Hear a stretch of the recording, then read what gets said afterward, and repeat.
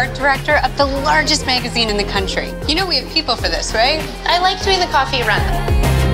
I expect a copy of the February lookbook. I'll need it before you take off on your Christmas vacation. Knock, knock.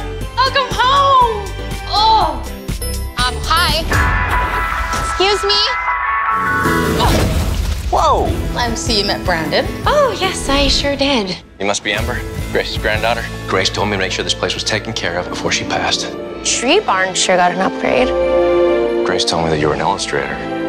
It's something we started when I was really little. It's a Christmas storybook that my grandma and I were working on together. But you never finished it. This is my best friend, Amber. Hi, Amber. Hi. Hi.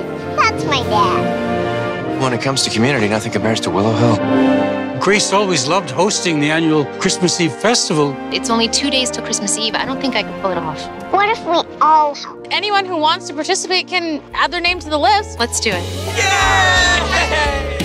We have decorations to make, and I brought art supplies.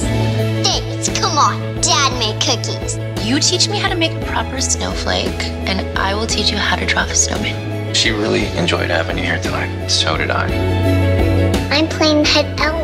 But what if I forget all my lines? Nobody in the audience knows the lines except for you. I was wanting to ask if you'd like to be my date for the pageant tonight. You look beautiful. Too beautiful. Stockings or reindeer? I demand to speak to Santa. You were incredible. I couldn't have done it without you, Amber. With you and Emily, I just feel like I'm part of a family. Ember, hi. Do you have a moment? I've sent a contract to you for when you return home. Christmas in Willow Hill's the right time for a miracle. You two seem to really enjoy the last few weeks together. It's kind of like in your book. And the little girl realized that there was more to Christmas than just a fancy tree. It was who you got to spend it with. I found community and family. There's nowhere else that I'd rather be. Do you think Santa will know where to find me? I'm pretty sure that he will.